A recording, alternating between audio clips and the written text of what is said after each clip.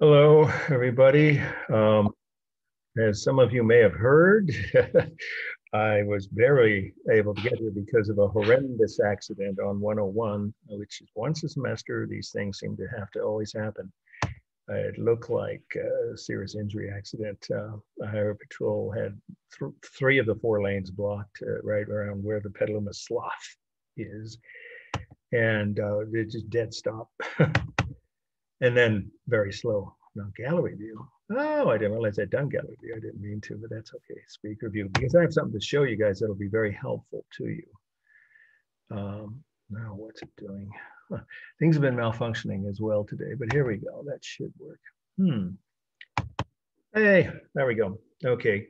I have a couple things to show you. And the thing is that I didn't use to hold classes on the day before Thanksgiving when it was all in person because I knew, you know, for people for travel, I mean, that's example what happened today on 101, both directions. It was, I don't know what happened on the southbound direction, the northbound direction was, and then there was a second smaller accident in Santa Rosa too on 101. So fun times, um, but I got here barely in time. So if you guys were wondering why I didn't try to send you the log on by 245, that's why I just got to my office at 253. But I have some helpful information here that I should have held up before. So I'm going to keep this on the screen for, oh, you know, let's say a couple minutes so you can, or else it can just be, you know, when you watch the video for review. These are the five main movements of early modern architecture. Now, we have covered uh, four of them in the previous lectures. Remember, this is a two week at least, and probably don't finish up until on Monday with the final must knows from this topic, our last new topic before the final. So these terms I have defined um, pretty well, except for number four. And we skipped over that slide unintentionally. I forgot that I had put it, in it back in the earlier file that was meant for last week. So we're going to start with that. And then we're going to do one more slide from that same, you know, movement or style. So two from what would have been last week's lecture, and then proceed with the latter half of early modern architecture as per the syllabus, which we were getting partway through on Monday. So all of this, of course, is going to be on the videos. I'll post them before Saturday or by Saturday at noon. I've been saying Friday, but that, that tends to be very difficult to get them all done. Plus, it's a holiday weekend, as you all hopefully will relax uh, at least part of the, the weekend. So, in other words, if, if you missed any of the previous three lectures on this subject, you will definitely want. This is an important announcement in case anybody's here now who wasn't here on, uh, you know, um, a week ago, Monday or uh, whenever it was. I said, I think it was then that on the final, I can guarantee you there will be at least two slides of architecture, uh, one in the slide analysis and one in the slide identification section. Plus, this set of terms could appear, that's why I'm holding it up now, on the true false section, which is how the definitions get tested. And of course, those are statements where if any one part or one fact in that sentence is incorrect, the whole thing is false. It's the same exactly uh, procedure as the midterm was. And of course, you know, the final is not cumulative, right? And counts with the same number of points, 100 plus the extra. Okay, so I'm going to put this down now. Let's admit this. Hey, Mark, a quick question. Sure. Any questions? Now's a good time. Sure. Um, on the Bay movement, why the, um, how did it get its name? Oh, Bay tradition. Sorry. that- that's a- First Bay tradition. Excellent question, and I can answer quickly. I wrote my master's thesis with the man that coined that term. He won the um, Pulitzer Prize. Pretty honored by that. He was my thesis advisor and mentor.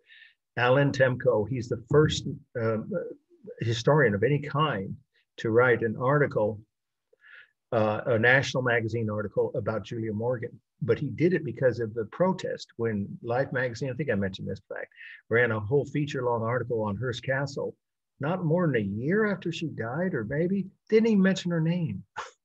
it's like, how can much more insulting can you get? than, you know, the whole thing was, you know, a creation she brought into being, right? With the money, of course, provided by Hearst.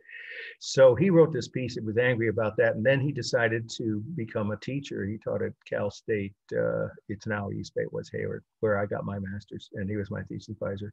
So he coined that term, I believe, a few years later, around 1960, for one of the national magazines. He was very well known as an architectural historian, and his name was Alan Temko. And if for extra credits, you might want to look up some of his articles. He wrote the uh, all the architecture articles for the San Francisco Chronicle. That's what get, got him the Pulitzer Prize. Say that five times in around I don't know 90 something, 95 maybe it was.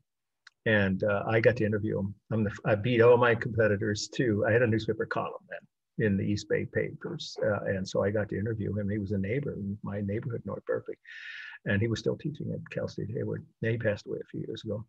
Yeah, Alan Temko coined that phrase, and it caught on because it, it it's a very good phrase to describe what's different about the, you know, unique about Bay Area environmentally sensitive design, as mm-hmm. opposed to the Frank Lloyd Wright version, which is exactly the same concept, but as you know now, if you've watched the last two lectures, a very different type of environment design, environmentally sensitive design. Sorry, and that's because prairie style, well, the name it's there also is self-descriptive. It has to do with the environment in the Midwest, which is mostly flat prairie. So the two have the same concept underlying them, those two movements, and they're almost simultaneous. So in any honest assessment of this period that we're covering, I would say equal credit should go to both Bernard Maybeck and Frank Lloyd Wright for innovations that are still with us today. In other words, you could call them not the only, but two of the founding fathers of green design. That phrase didn't exist when they were around, of course. That I don't know who came up with that phrase. That's that's late 20th century, I think. Okay, that answers your question. I hope. Yeah. So, but you could find a documentary. Oh, there's one on Julia Morgan. It's terrible. It's so boring. It's all talk. It has my my mentor Alan Temko talks, and his part's actually not not quite so boring but don't talk about architecture with just having people talking, just like I'm doing now in front of a camera. Back then, there was no Zoom. Uh, for you know, 10 minutes about a building, go to the building, go through the building, film people in the building, show events held there the way that the original architecture was intended, because every one of Julia Morgan's public buildings, with few exceptions, is still serving the purpose she designed them for just as well today. They opened 100 or more years ago. To me, that's a testament of a great architect. So, all right. Any other questions relating to um, history, or, uh, you know, not history, I meant art, this topic of, of course, early modern architecture or uh, to your grades? Um, I do have now finally, but it was around midnight and I didn't have, I was just, you know, I had to get up early to drive up here from Berkeley. If I'd known how bad the traffic was, I had to get up an hour earlier than usual. But anyway, I just didn't have the energy to log the grades in. And as you can see, I wouldn't have had time today. So I will over the next not tomorrow, over the weekend, let's say by Saturday. Probably Friday. I'll just say, well, I think if I do that, and then the, the videos will be posted by Saturday morning by around uh, noon or so of the previous three, well, this this week's lectures. So in other words, if you didn't get your grade and you turned your second paper in on time, you you'll get it uh, certainly by the end of the day Friday. So you can check, you know, anytime late Friday evening or, or over the weekend. Okay. I've sent grades to some people, those that I graded or have already gotten back. Okay, any other questions? Extra credit? Uh, nobody's done better than, I think one person has 40 points, but almost everyone else, no one's got 60, the maximum.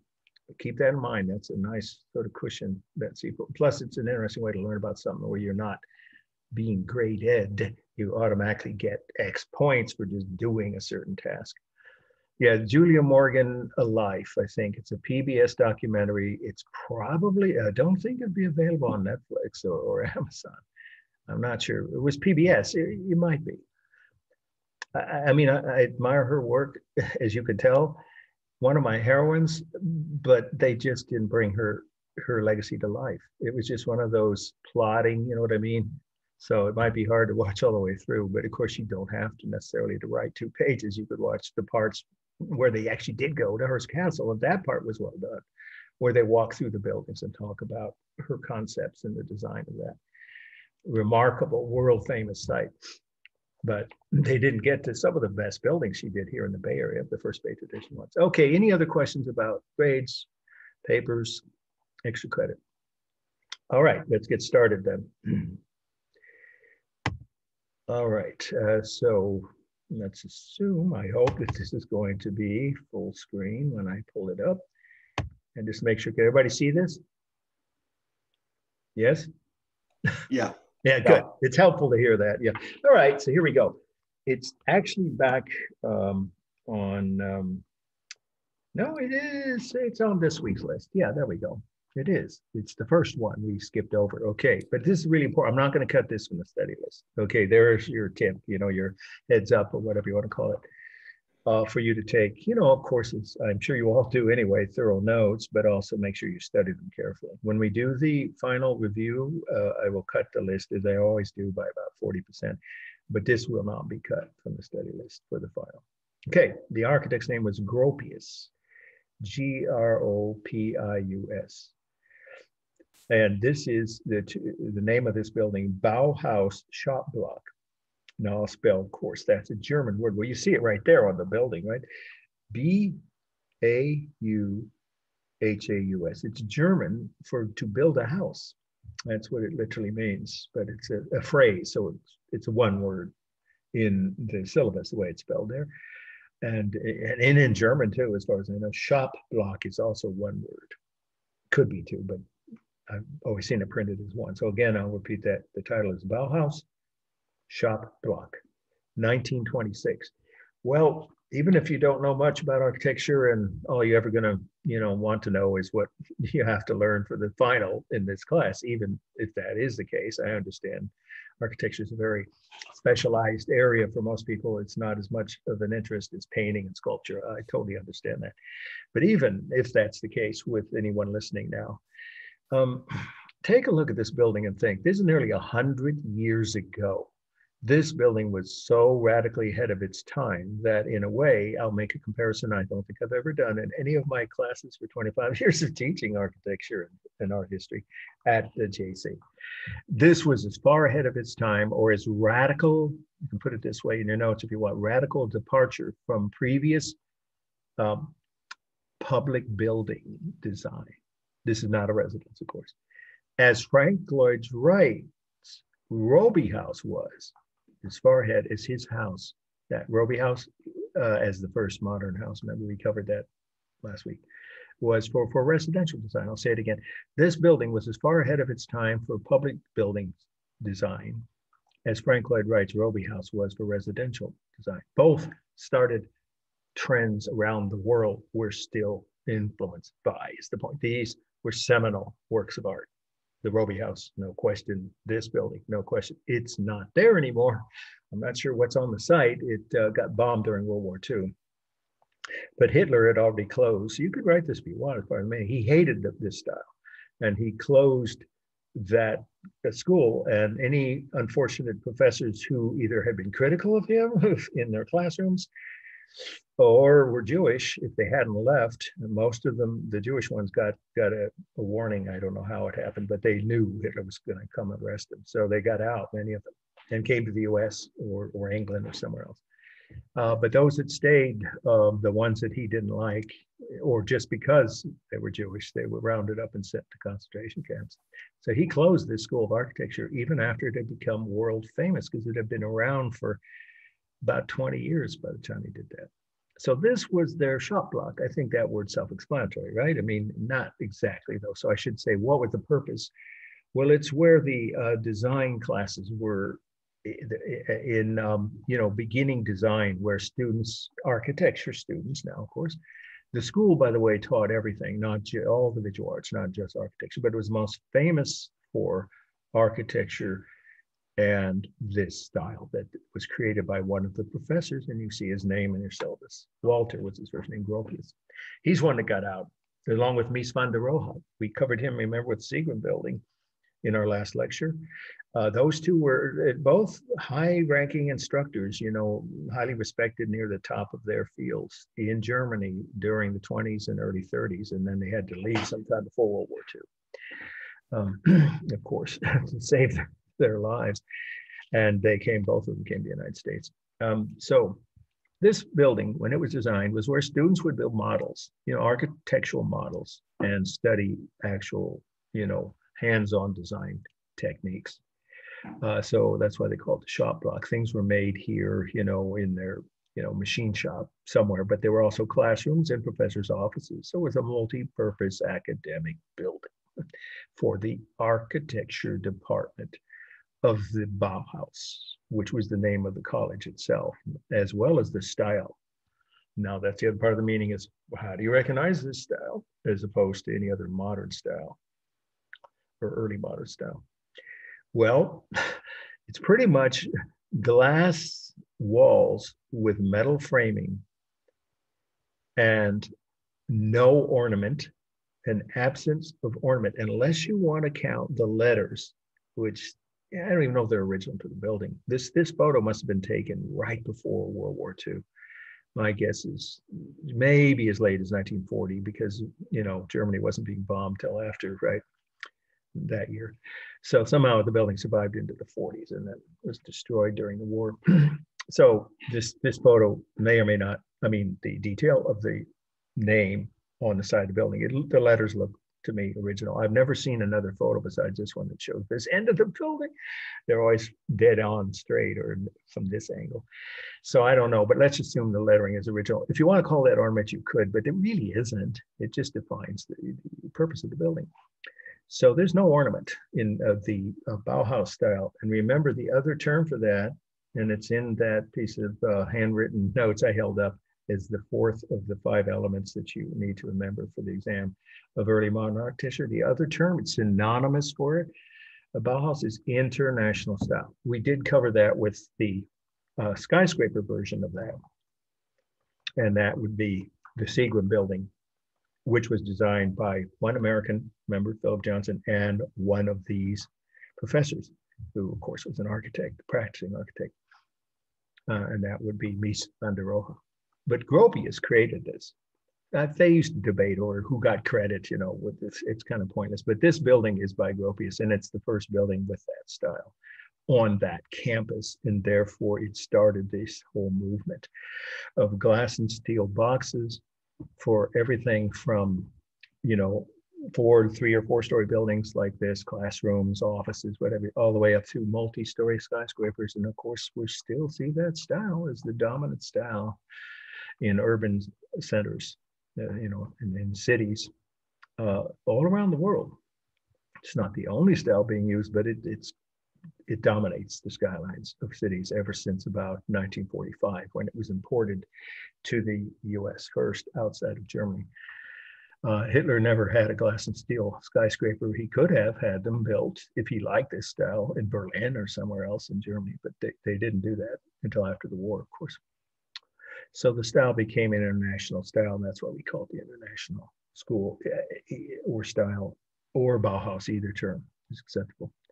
Okay, there isn't much more to describe about it eh, except to say that uh, after this um, building was created, uh, well, just one more fact, then we'll do a formal analysis.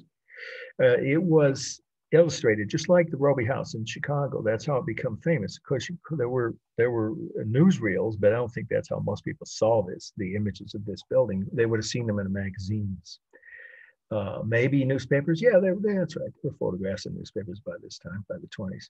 Newspapers, magazines, and maybe even occasionally a few books, which would have illustrated this style as the newest trend from Europe, uh, and or therefore, you know, cutting edge, right? Or as my aunt in Indiana would call it, avant-garde of the French phrase, avant-garde. Um, it caught on first in Europe before it caught on here, but not for skyscrapers. There were, and you're going to see proof of that in the very next slide, uh, French versions of Bauhaus after the Germans, the next country to adopt it. Well, next door, you know, I've seen a map of Europe, right? Next door to Germany is France. So the French adopted, then the Dutch, and then the English. And eventually we, we adopted it after World War II because of the two architects who helped create it. Both Gropius and, and Mies van der Rohe had some hand in it, but there's no debate. The first building of that style was this one. And this was only Gropius. He didn't have a partner in this design. Okay, let's do the formal elements. It's pretty obviously neutral colors, right? Except for the door. And I'm not sure, again, if that's the original color of this door. I don't think it is, but it, might be. But obviously, it's overwhelmingly, uh, you could say cool because the gray kind of evokes that, but this is black. It may not look black in this photo because the photo is extra highly lit, but I've, I've seen sharp, actually video of this. The, the you know, films were made here in Germany mostly with this building as part of the background. So I've seen plenty of images of it. So this, these are actually black painted metal framing. So black, transparent, and you could say light gray. Remember, shades of black, white, and shades of gray combined is all neutral, right? Covered that with the first week of class when I showed you one of Picasso's paintings with those colors. So there's no, it's not considered cool here unless you want to get technical and say, well, around the door, that's warm. So on either side of it, that those two colors could be considered cool, but really just keep it simple. In the lettering is, is part of that. So these are just various neutral shades of black, white, and gray. Then we have the rhythm, of course, of the uh, walls of glass and the metal framing and the windows on the ground floor and the, the side of the building, and of course the lettering. It's entirely stable. I don't see anything dynamic about it. Again, unless you count a couple of the letters, but that's it's not part of the building. So there's no curved lines. It's a single mast. You can't really break it down. But in terms of space, it is a four-story building with long hallways uh, on each floor filled with various sized classrooms and offices. Just say it that way. So there are various sizes of classrooms and offices on each floor. There's a long hall. I've seen I've seen photos of the interior. Um, and so four stories, of course. This actually may look like it's just the basement, but it's actually a story because the ceiling is goes up to this height here. So I think that they're about equal height, the, the ceilings in each of the four floors. Okay, then we have um, line here. It's all visual, of course, the framing around the glass uh, in the windows and on the walls themselves. And at the corners is, of course, visual line. Textures are all real. Real smooth glass, real smooth metal, and real smooth concrete. This concrete is painted and maybe even sanded, but it is smooth. I've seen, again, close-up photos of it. So they're all smooth, real textures the modeling is just the shadows from the sun. And in this one, their only modeling is underneath the overhang and the doorway. So there's no technique for modeling. And it's balanced, it's symmetrical. If you were to stand in front of it, there's another entrance up this side here of, of this height. So it's symmetrical left to right and of course balanced top to bottom. Okay, let's move on. I took this off the list so you guys get a break. I didn't intend to do, and that's because my frazzled brain was not functioning fully near the end of the lecture I gave. Uh, I think it was Monday. Uh, it was just too much on my mind. So um, you don't have to write these notes, but I'm going to go ahead and give you, we won't do the formal analysis since it's not going to be on the test. But that's because some of you probably right now who are here now were not in class, the Zoom class on uh, Monday. So you can cross off the second one, but I'm going to tell you the, the, the information about it because it's an important building and it did set a trend in my mind for the worse, but that's a matter of opinion. But it's a very important building. However, I already promised to cut it, so I'm not going to go back on my promise. So, all right, now if you didn't already, take your pen and cross off the second building down, but I'll go ahead and tell you the name of it for those who might want to know more about it, but you don't have to write this unless you want to. Le Corbusier, the architect, L E and then second half of the name C O R B U S I E R. That was his uh, nickname. Uh, and then the title, the name of this, it's a house, if it's not, it's Villa Savoye, S A V O Y E, 1930. Okay, again, the point about this is it's another seminal work of art. Why? Because it started a trend with residential architecture and the Bauhaus is the influence for this. If you look at the building, one critic called it a Bauhaus residence on stilts.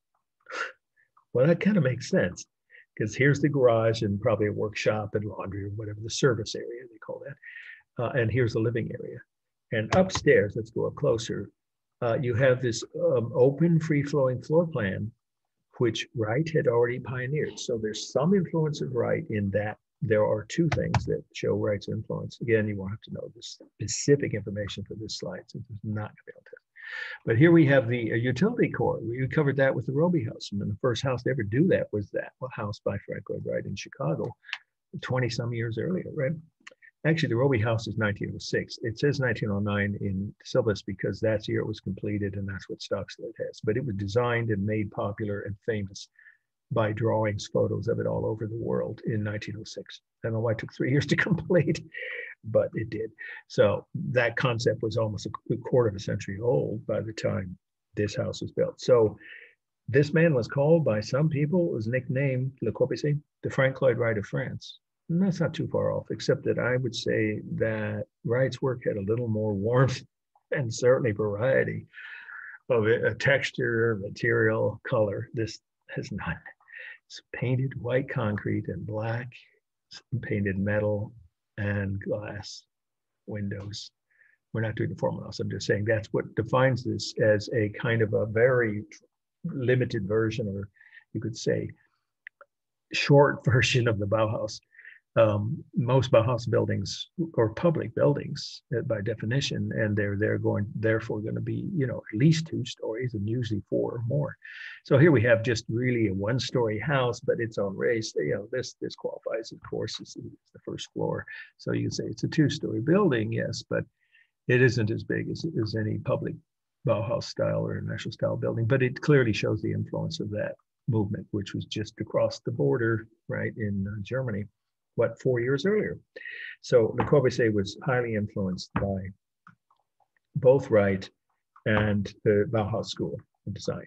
He called this, this is the last couple of facts, I'll say, we'll move on with no formal analysis. He, that is, this architect, Le Corbusier, called this house, it was his first house in that mode, a kind of a quasi Bauhaus style or international style residential design. He called this style and his house a machine for living.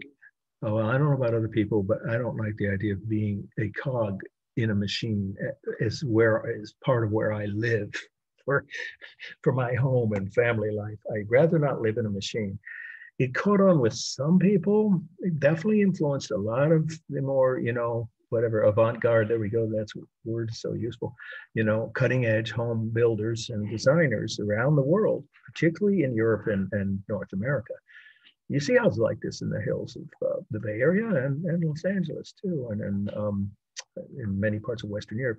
But it, it wasn't popular enough to become a mass movement the way wright's uh, prairie and uh, usonian styles did because those led to early modern houses that we still see being created with the same concepts behind them. So this was had some limited appeal to the point, but but it still was influential, no question for, and still is. You still see homes like this being built as we speak. There's one right now in the Berkeley Hills, not far above where I live. And someone chose to probably look at some old photos of uh, Le Corbusier's work.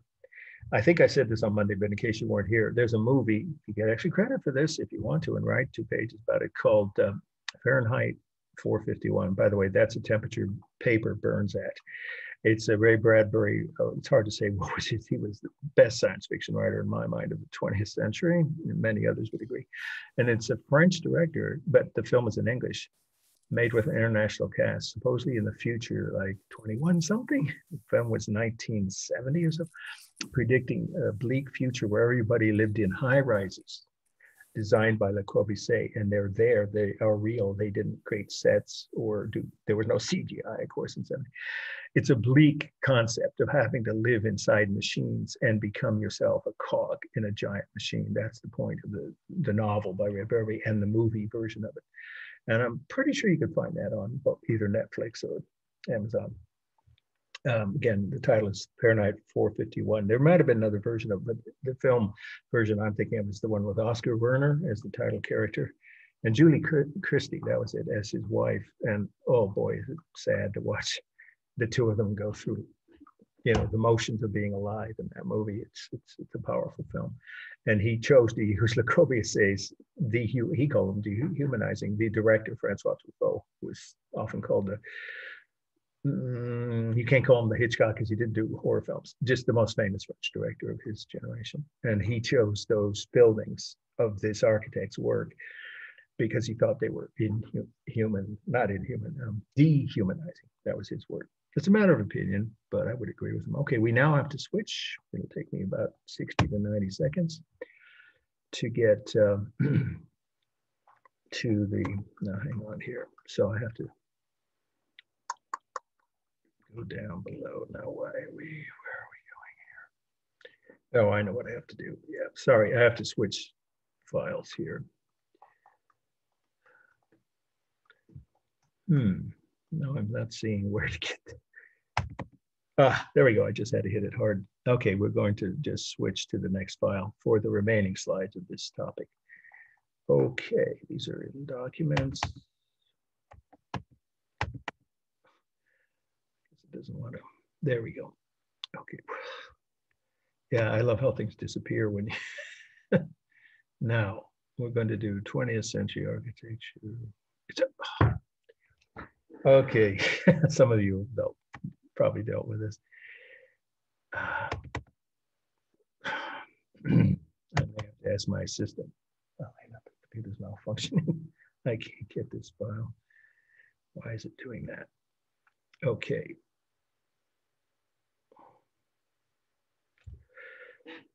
Well, I'm not sure what to do about this. It's the first time I've had this happen while I'm in the middle of a lecture. Hang on, we'll figure out a solution. But I think what's going to happen is. Anybody have any advice? I'll admit to you that I'm, I'm stumped. I don't know why it won't let me access my own files here. Let's For the screen share? Yeah, yeah, I'm trying to get to Mark's pictures. Well, give, give me another two minutes. If we can't do this within three minutes or so, I may have to just, okay, why is it not letting me? Look, it disappears. How am I supposed to access the files? Elena, I could use your help. There's something wrong here. Every time I try to access my files, they disappear. Look, I've never seen it do that. I need to get the 20th century architecture. I need to get that on there. Sorry, my trusty assistant. Well, what did you do differently? I did the same thing. Why did it not? Sorry, you guys. I apologize. You're seeing sausage being made, as they say in politics. uh, no, the whole list. I need the entire list. Yeah. Yeah.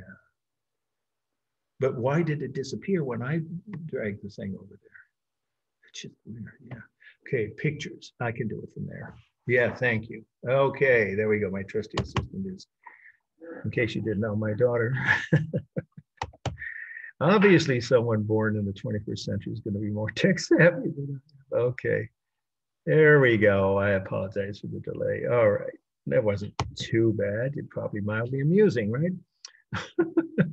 okay, here we go. Oh, but these are some really interesting slides, so I think you'll find that it's worth your time. Oh yeah, then I have to do this to get to the screen share, and that won't take long. That's just um, as long as I don't. Okay, share screen. There we go. We're on our way now. Come on. All right, so I'll go ahead and give you the title of this while I get it ready. This is on your list. It's a must know. Uh, hmm, did I cut it? Oh, yeah, I've been trying to be, you know, extra efficient. Yeah. and- Yeah, I I did. don't cut see it. that on the list. Yeah, you, you can tell what it is. I'll go ahead and tell you, and you, you can get a break from taking notes. uh, then, okay, but first I want to make sure everybody can see it. Yeah, well, you could because you just said, yeah.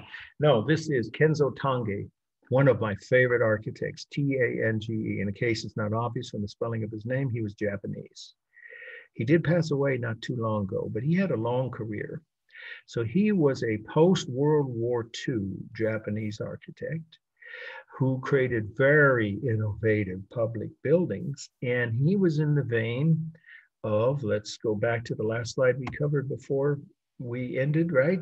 On Monday. In a similar vein as um, other architects, such as uh, this one, of course, um, is the um, TWA terminal by Saarinen. We covered that on Monday. That is still on the must-know list. Uh, so they both were biomorphic. That's the word I'll spell that in case you've never used it before or you weren't with us on Monday. Biomorphic, one word, pretty phonetic, B-I-O-M-O-R-P-H-I-C. Biomorphic means having to do with living things. So with a biomorphic building, the building should evoke a living creature. Well, we know this biomorphic building, we covered it Monday, evokes a giant eagle coming in for a landing. There's its, you know, beak and its head, and these are its wings and its talons. It's, it's a brilliant concept for an airport terminal. So this is for the Olympics, the 1964 Tokyo Olympics. Now, they just had their Olympics, didn't they? Yeah. Somehow a year late, right? um, and this was supposed to look like a Japanese warship from medieval times remember, I think I've said this, that the word, well, maybe it's only in my Art 2.1 class. The word medieval has become a universal shorthand for the period of history that used to be only referred to European history, but it isn't anymore. Uh, it just means the period between about 500 and 1500 AD, which is in Europe was originally just called the Middle Ages. So in Japan, in the late Middle Ages, they had a warlord culture. Doesn't mean the whole, but there was a warlord class that ran most of the society. Uh, that ran, you know, the powerful groups that ran um, the leadership of the Japanese people, and uh, like you know, was happening all over the world. Of course, certainly in, it was in Europe at that time. They built these big warships, wooden warships, which uh, went well beyond the waters of Japan. You know, at least around the east coast uh, the eastern coastline of Asia. So they were a fairly powerful naval uh, culture. And this is meant to be like the prow of one of those ships. This would be like the deck, and that's the stern. And it's working its way through the water. Well, now, why is that appropriate as a motif? Um, there were other people who say, well, the ship's not alive, but you know, it was manned by people and it has that, it, it's still considered biomorphic. Others think it looked like a giant sea manatee, but I, I don't see it that way, but that's how some critics look, uh, describe this. It, this was the uh, swim center. This was where the Olympic swimming competitions were held throughout that summer. I remember seeing those Olympics on our little black and white TV. Um, and so all of the swimming events were held inside this one building. And it's a pretty remarkable structure. It's still functioning the way he designed it as a swim center, but I don't think it's being used, was, maybe it was. I can't remember if it was using that last Olympics. I didn't watch those that, that were this summer.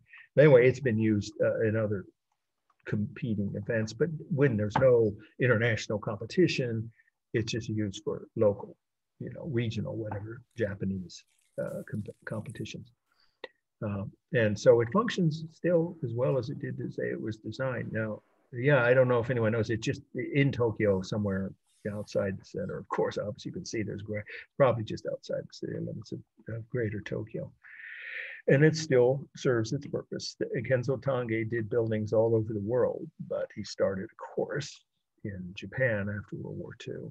I think he lived until just a few years ago highly respected architect.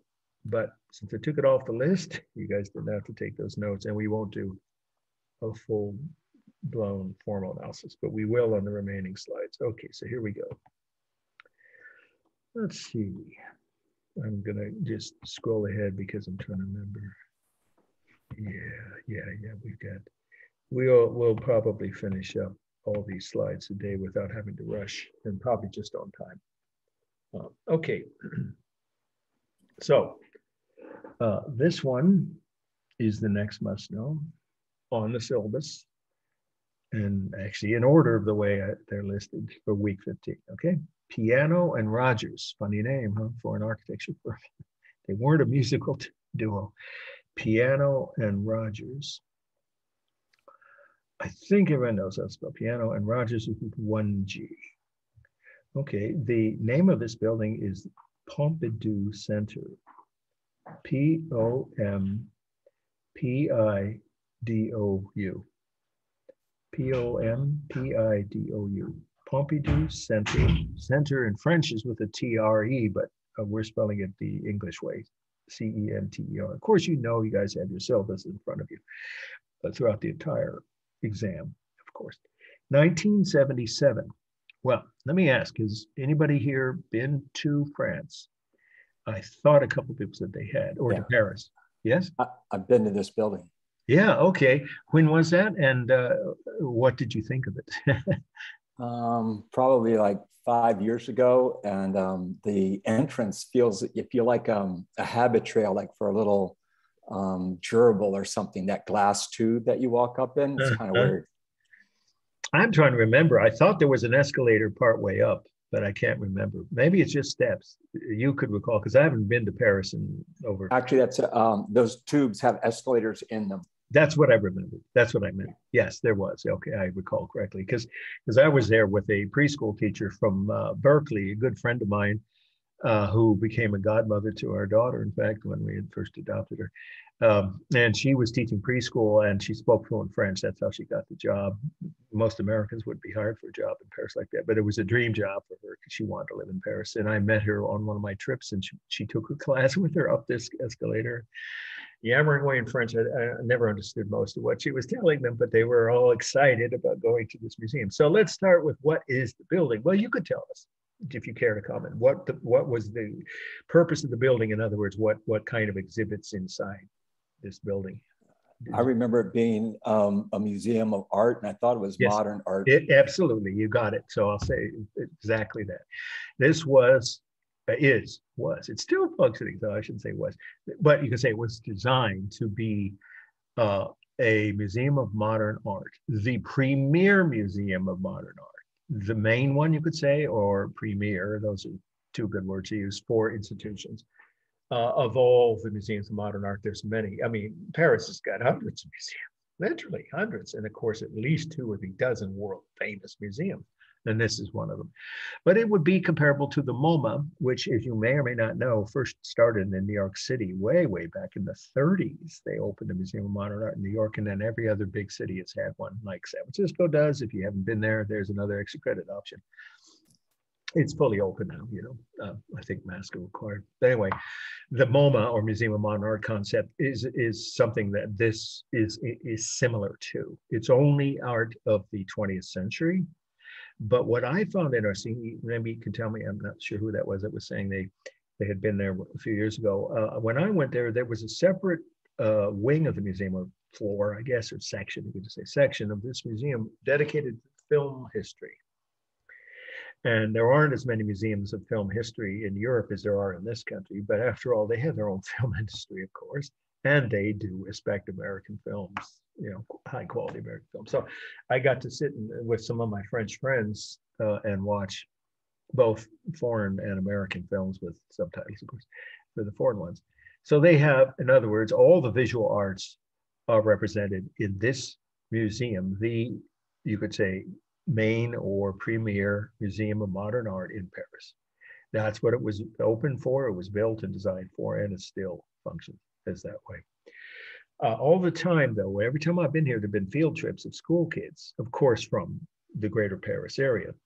And um, so I don't know when you went there, I guess, right, whether it was during the holidays or something, because it gets really crowded, you know, around Christmas and uh, uh, whatever, certain times of the year, right? um, but it's it's always popular. You see the line of people here. Why don't we go close up here? Yeah, so I'm not sure if this is, you know, to get, it's probably to get in, right? Did you have to wait very long, by the way? I'm sorry, who was that? that yeah. Um, I don't recall having to wait very long. Um, What time of year? uh, it- it's a lot. It was um, during the summer when I was over there teaching, and Oh, um, you were but it's a lot to take in. I mean, just many, many floors. That's the only thing I remember. You can't ask me anything more. I'm not a, I'm not Sure. like you. I don't have that great memory, but I just remember it was just a lot of work. Yes, it is. It's a multifaceted museum. That's why I mentioned the film section. I think it's a whole floor. It's a huge building too. It's really two city blocks long. So here's the facts besides what I just said about the purpose. That always is the first fact you should write in your notes on the meaning of a building. Okay, the next fact is that the, this is a very historic district of Paris. I don't know if you can tell from this photo. I have some great slides of it, but they weren't converted into digital format, so I can't show them to you. Um, there's a Gothic church. In the distance is Notre Dame, the most famous Gothic church probably in the world. We're gonna, you know, uh, not we're not covering that. That's 2.1. Sorry, uh, but certainly you've seen photos of that. So it's in the middle of the. Some people think of it as the oldest neighborhood or district. Better word, district in Paris. In other words, it was controversial to build this because they tore down several square. I think it was four. Yeah, it was at least four city blocks, four square blocks of historic buildings to build it. And a lot of people in Paris opposed that. If I'd lived there then, I probably would have. And then when this building, oh, it's all part of the meaning now. When the building opened, once obviously triumphed over its critics, obviously there it is, it still got a lot of criticism from people in that neighborhood because they thought it was ugly or out of place. It clearly does not blend in with the environment. It's not meant to. This is not um, environmentally sensitive design. However, it is an early example of two other uh, trends that I didn't require you to write down, but for this slide, you should now do that. This is an early green building. At least that's what I've read. Now, maybe it wasn't designed that way, but now it's functioning that way, where, where the climate is controlled and the energy use is kept to, you know, a low level and so forth and so on. It's supposed to be because of the technology available when it was designed. Green design wasn't even yet a term in the 70s, I don't think, but by the 80s or so. I think I remember hearing it that far back. Anyway, certainly in the last 45 years, this building has had some upgrades. But anyways, it, it may not have originally been designed as a green building, but it is functions as one now. An energy efficient building is what we're saying. Okay, and then the other thing, even more relevant for the meaning, is this is one of the first buildings of the postmodern school of design. Now that bears definition within the notes for this slide. You won't be asked that on the true false section, right? The definition portion of the final. But you need to write this now for this, the meaning of this uh, site. Uh, so that, that term, postmodern, is a movement of late 20th century architecture, still with us. Of course, it began in the late 20s. So uh, late 20th century, sorry. I'll say it again. It's a movement of 20th century architecture still in use, comma, there we go, um, which reintroduced a variety, and there's only one way to say I'll repeat it, say it slowly and repeat it once, which reintroduced a variety of colors, textures, materials, and forms that is totally the antithesis of the Bauhaus school. The only thing they have in, in common is the walls behind those escalators and the unusual framing in front of the windows. That's not Bauhaus. But the walls themselves, if that's all there was, in other words, if all this building had was just this, let's get this over here, you know, if it was just this big cube and nothing else around it, it wouldn't be considered avant-garde or the uh, one of the first or pioneering examples of a new movement called postmodernism, but it was. And that's because, I'll say it again, postmodernism was a movement of late 20th century architecture still in use, come on, which reintroduced a variety of textures, colors, materials, and forms. You know, shapes, of course, but that's how architects describe that. Okay, that's not quite complete because it also, sorry, last part of the definition of two sentences of postmodernism is it also has, or these buildings, these buildings also have a note of whimsy by incorporating historic motifs. These buildings also have a note of whimsy, you know, humor in other words.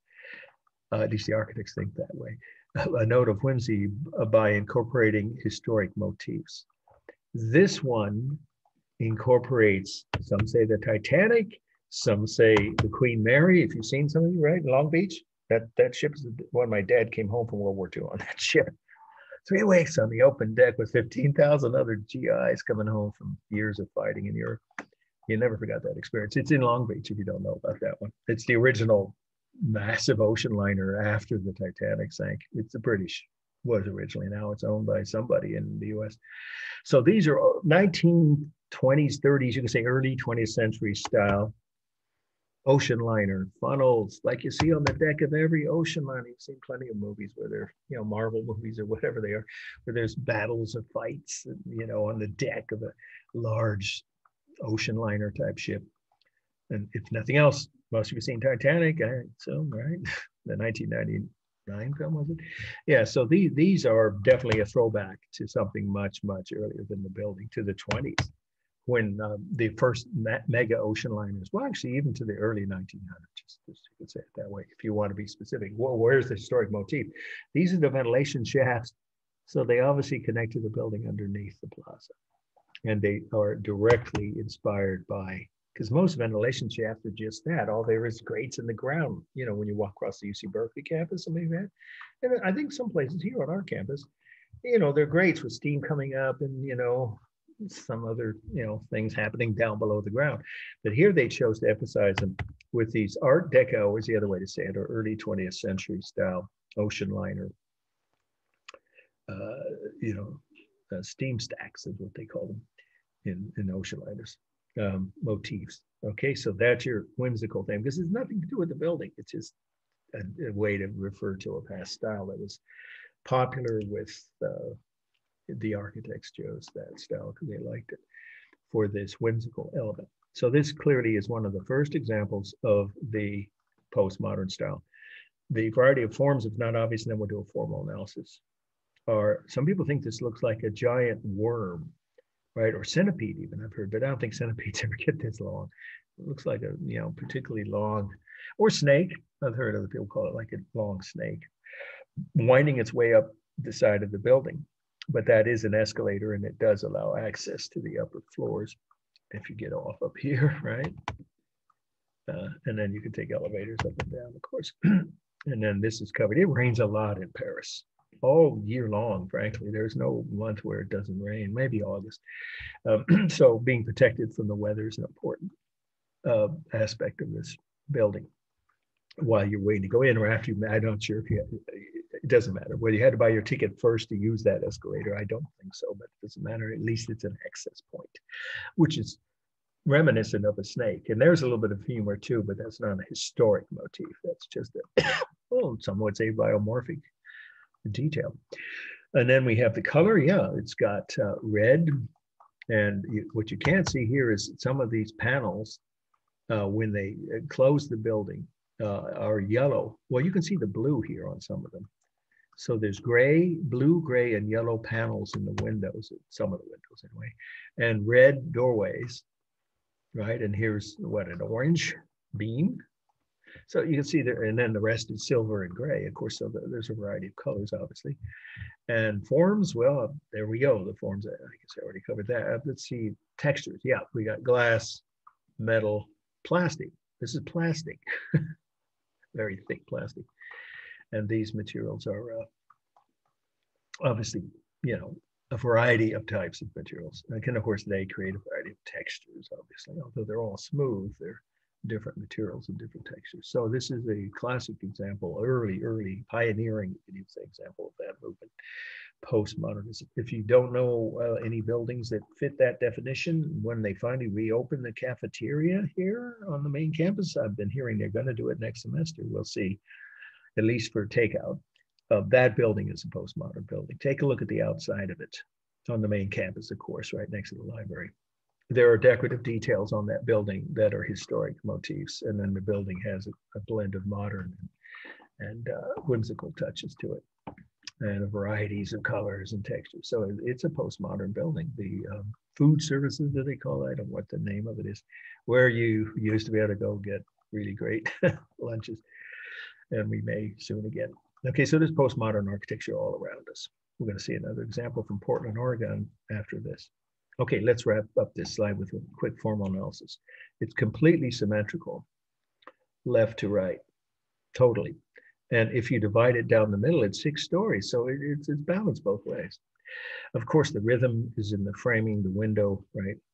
Framing. And then, of course, the uh, escalators, covered, I guess you'd call them. This, this is also escalators, I recall. Yeah, right. So all the escalators have a similar overall round tube-like shape. Uh, and of course, the uh, exterior girding or framing creates rhythm. It's almost entirely stable except for the one snake-like, we'll call it uh, escalator that goes all the way up the top of the building. That that's dynamic. Everything else is stable. I already mentioned the textures, smooth, real textures of glass, metal, and plastic. I already mentioned the colors, but warm, you need to be, if it's on the exam, specific where those are, or in this section where these doorways are on each floor surrounded with a warm red color. And I'm not sure what that is. That's probably some kind of observation post. Uh, and then there's a warm color on this one being. Most of the colors, the rest of the colors are cool, you know, cool. Well, you don't see the yellow in this one, but I've seen it where the windows have the, I think that's when they close the, somehow the panels that, uh, you know, cover the windows, or some of them are yellow. But in this photo, all you can see is the cool uh, silver, gray, and blue colors on the window. Uh-oh. Ah, yeah, I've got it. There we go. That's good. Won't let that happen. That did happen once, one day. Okay, just tighten the connection. There we go. So we're all right. All right, let's finish up. Uh, this is um, really a single mass. I don't think you could break it down into other masses for space. It's a six-story tall building with various sized exhibit rooms on each floor that's pretty much all you all you have to say about it. This is all real space. I don't remember how tall how high it is, but it, it's it's certainly about 80 feet. You could say that it's around 80 feet tall for the total height. Uh, the line is visual line, right? Around the framing the doors and the windows, uh, and in in the um, plastic tubing, I guess you can call that, of each escalator.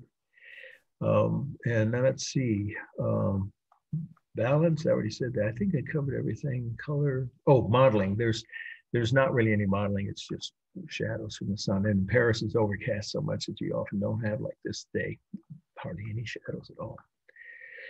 Okay, let's see. Am I forgetting anything? I don't think so. Sometimes I have to stop and count how many of the nine elements did I forget one. Okay.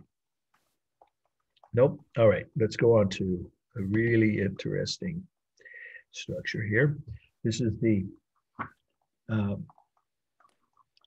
Portland Services Building, just like it sounds. I think you all know how to spell that. City, right? In Oregon, Portland Services Building by Graves. His name belied his demeanor, as they say. It was the opposite of what kind of a person he was. He wasn't a grave person. G R A V E S. 1982. This is Portland City Hall. That's just another name for this. It's Portland City Hall is what it really is. So it was designed as the center of the Portland municipal government. The mayor's office is in here. And this is as postmodern as you can get. It's one of the first postmodern buildings in America. That's an important detail, a fact, I mean, about the meaning. And so what we see here is those features. I've already mentioned them, but they apply to this slide very clearly, even more obviously than that uh, Pompidou Center, is the variety of textures, colors, forms, and materials. But let's start with the last aspect, the whimsical aspect of what makes a building part of the um, postmodern style.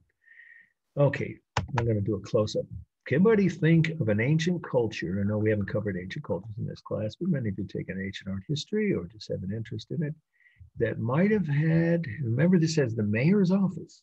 Okay, he's the head person, supposedly, right?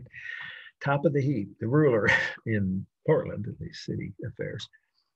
What other culture could, in the ancient world, could have had this kind of a shape of some kind of attire? And I'll give you a clue on top of their heads. Anybody think of anything? That it's not the best angle to get this point across, but uh, yeah, Egyptian. Yes, excellent, excellent, very, very astute. Yep. It's supposed to look like a pharaoh's headdress. And of course, that is, is a cliche at this point. I mean, ever since Steve Martin did his uh, King Tut song, which of course wouldn't be politically correct now, but was popular when King Tut's exhibits were traveling around the US back when they used to let his mummy and his coffin and his face mask go out of Egypt. They will never do that again. Um, I think one or two you said you saw it in the early 80s. Yeah. This building was designed around that time. So it's, in other words, it, the whimsy here is that the mayor's like the pharaoh. He's supposed, but of course they're not. The real mayor doesn't just dictate everything. I mean, this at least not supposedly in most cities, there's some kind of a de- democratic process, right? And elections, and of course, opposition to people. And that's, you know, it's a whimsical comment on when you go to City Hall, there's a phrase you can't fight City Hall. There's some truth to that. It's often very hard to get officials, any official who has any power in the city government, to change their mind or to to to uh, alter their rules. It is difficult, but it is possible. In any case, he's just being whimsical. The architect is saying, "So you enter this building. You're if you're going to go see the mayor or anyone on his staff, you're going to visit the local pharaoh. So that's their whimsical touch, or his whimsical touch. And of course, it's historic, ancient history. Yeah, so that's supposed to look the whole upper part like a pharaoh's headdress. And it's obvious there are varieties of colors what do the formal elements, textures, materials, and forms or shapes on the outside of the building.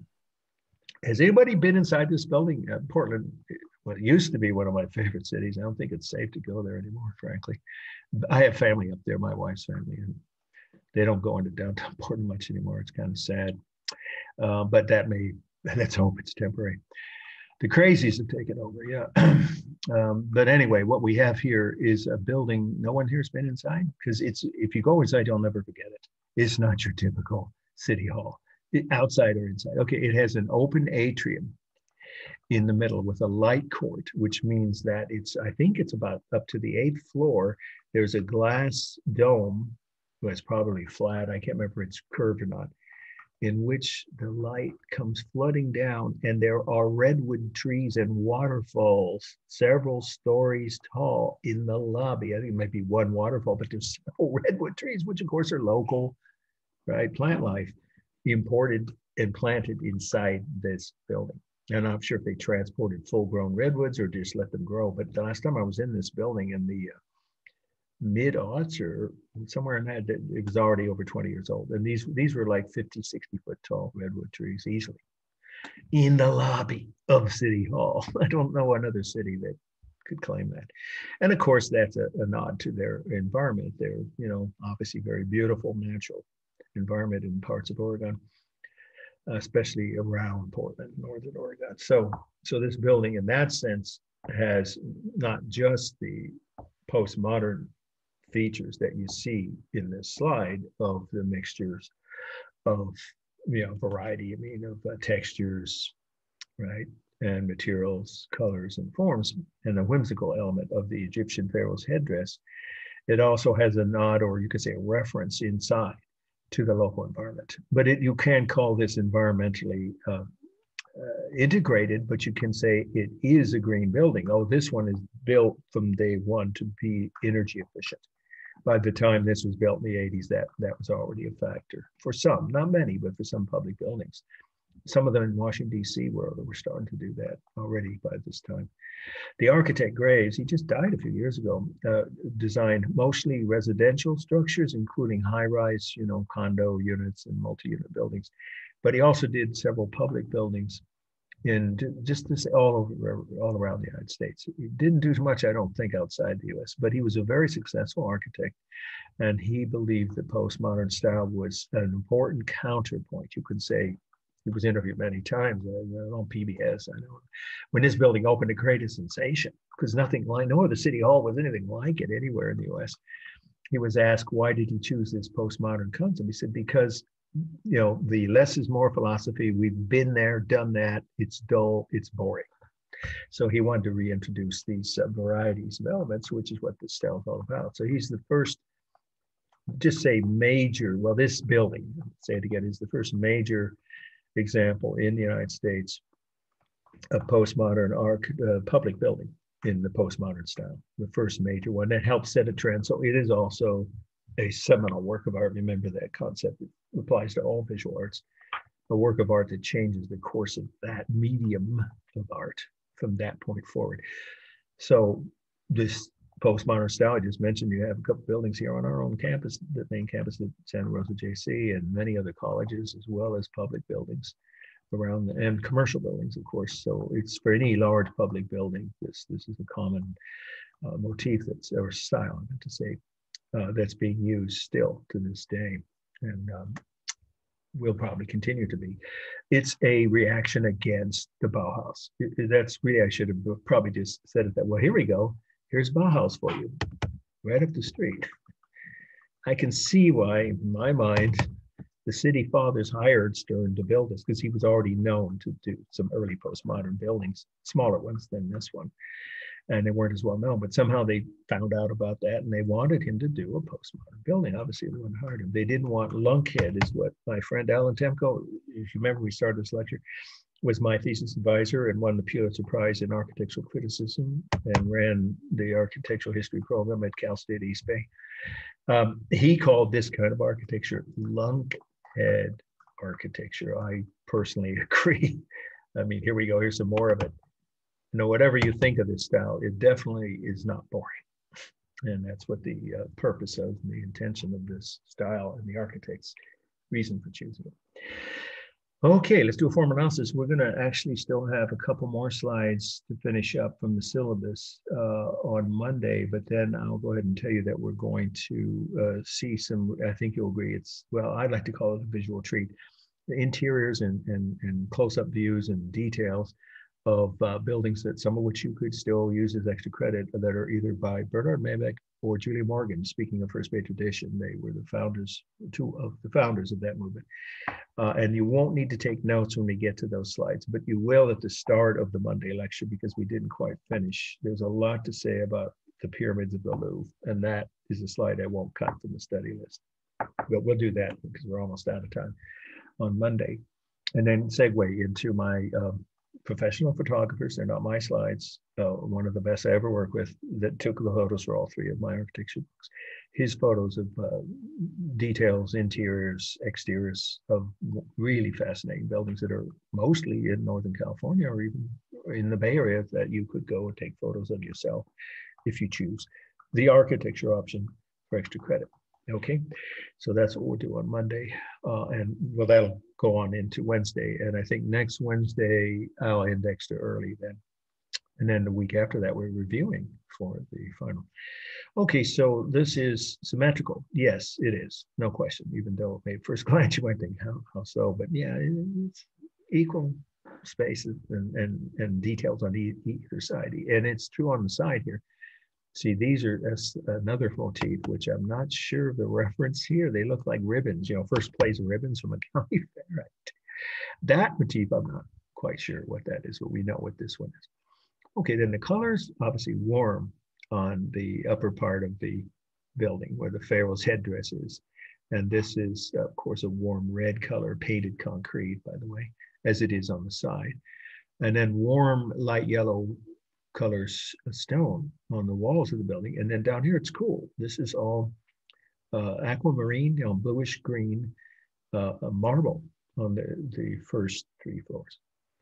And then that, of course, is what the textures are. So I'll, I'll label them each, you know, as you go, it should be right. There's all real textures here, real smooth marble on the ground floors, real smooth stone on the upper floors, real smooth glass and steel on the windows, and real smooth polished concrete on the uh, decorative details.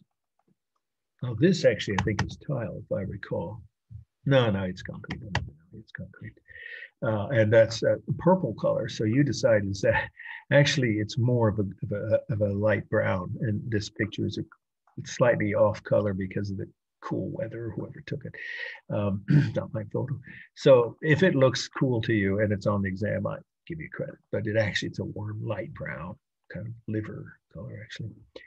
Okay, then we have the rhythm, of course, powerful rhythm of the uh, ziggurat-like, right? Step pyramid, and it is that. OTC. There's another historic reference here. Step or setback pyramids, which the Babylonians used, and some Egyptian pyramids too. Uh, that creates rhythm. The setbacks, the windows, of course, and the concrete uh, pilasters. It's called pilasters, and the, the motif of the pharaoh headdress. That all creates rhythm, of course. It is mostly stable except for the top two features, which are the projecting balconies. These are actually balconies, and the decorative feature of the pharaoh's headdress. Those are you know, diagonal lines. So that part of the building is dynamic. Everything else is stable. For space, you have a building that is, I think it's 15 stories. I'm pretty sure I have that right. About 15 stories. That's close enough. Uh, with a, a very tall open lobby. You can say atrium if you prefer, because that's another way of saying a, uh, a, a room or lobby with a glass skylight above it that is several stories. I can't remember if it's five or six, several stories tall in the center, and then various um, sizes of offices arranged around each floor, around the outer part of the building. I don't know the height of it. Uh, I think I'll, you know, need to write that, but it is about 15 stories. That's that's close enough. It's balanced, totally symmetrical. Yeah, and then um, let's see. There's no technique for modeling. It's just whenever the shadows create uh, sun, I mean, sorry, create shadows. And the lines here are all visual around the edge of the headdress motif, the pilasters, uh, and the corners of the building. And of course, that's when the sun, a typical overcast Portland day, it isn't very full of shadows in this photo, but when there are, you'll see even stronger lines. Let's see, I think I've covered everything. Uh, rhythm, um, there's no larger or small mass. Yeah, I, I, don't know. You could break it down, I suppose, into the upper floors is one mass and the entry, you know, setbacks or a second mass. If you did, there'd be obviously two different masses, the largest of which would be the upper floors, and the smaller of the two would be the first few floors, the entry portion. Okay, well, here we are right at 4.15. So I'm going to go ahead and stop share and stick around for a few minutes if there are any questions anybody has about anything we just covered, about extra credit. If you joined late, I think one maybe or two people did. Um, I still have some papers that I just got at around midnight last night from one of my readers, so I haven't had a chance to enter those, but I will probably Friday before evening, you know, before dinner time on Friday. I should be able to send those grades to everybody. I'll make that commitment now because that's easy enough to do. So if you turned your paper in on time, your second paper, and you didn't get a grade, don't panic. Unless you want me to double confirm I got it, I do whatever I'm asked by a student in an email to do that. But uh, uh I'm pretty sure I didn't miss any. But if you want to double check, send me an email, and uh, I'm not going to respond to emails on Thanksgiving. Okay, Friday. You'll see your grade. That'll be how you know it was received. Um, but then if after you know, by Saturday morning you haven't received a grade, that would mean that it might be a good time for you to email me and say, somehow I didn't get my grade or did you get my paper? And it's easy to fix that. All of you have a record of what you did and didn't send, of course, or when you sent things if they were on time. So all the papers turned in on time that I received have been graded. They'll be entered in my roll book and um, I will give you the grades for those who didn't already get them. I've sent many people their grades. So part of it's doing a good job on the papers, on the second paper. So my compliments. Okay, any questions now from anybody about grades, extra credit, or uh, this this topic? We covered the modern architecture. Anybody? That was your chance. Okay, I always give you guys another few seconds just to think if there is something on, you know, that's you can always email me, of course, but don't expect a response until sometime Friday afternoon if you email me in the meantime. But I hope you're just going to forget about work and study and everything relating to grades for at least the next whatever. If you have a class tonight, like I do to teach, at least from tonight until Friday. So hopefully you all have a great Thanksgiving. Okay, relax, enjoy it. Thank you. And uh, thank Happy you. Thanksgiving, Mark. Happy Thanksgiving. Ha- Happy Thanksgiving to you guys too. Okay, I'll see you guys on Monday.